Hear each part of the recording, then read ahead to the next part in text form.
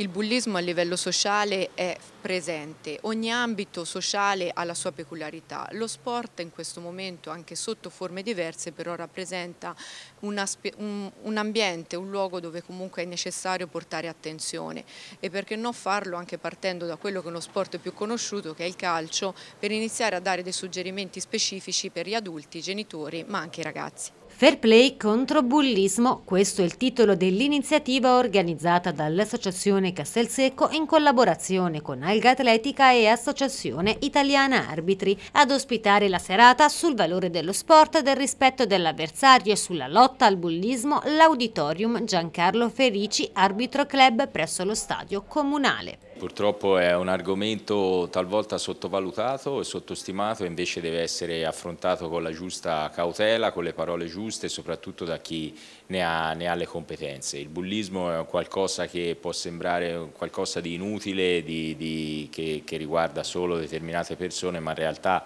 è nella società e dappertutto e lo sport da questo punto di vista ha un compito importante che è quello di evitare che determinati atteggiamenti diventino la normalità e soprattutto tenere lontani i ragazzi ragazzi da determinati ambienti e tenerli in un clima sereno e soprattutto ha bisogno di società sportive che si dedicano anche a questo e che improntino il loro lavoro sull'educazione dei ragazzi, sui comportamenti e sul rispetto degli altri. Il fenomeno purtroppo del bullismo e del cyberbullismo portano delle conseguenze nello sviluppo di un ragazzo, quindi siamo proprio qui per cercare di prevenire questi eventi. Eh, le conseguenze possono essere di vario genere, siamo sempre attenti a segnalare il fatto che quando un ragazzo ha un ritiro ritiro sociale, questo è già un segno più che sufficiente per farsi delle domande e per chiedere se sta superando un momento difficile e perché no indagare sempre più a fronte sempre più a fondo attraverso anche un dialogo costruttivo che possa portare alla luce quello che è veramente il malessere del ragazzo.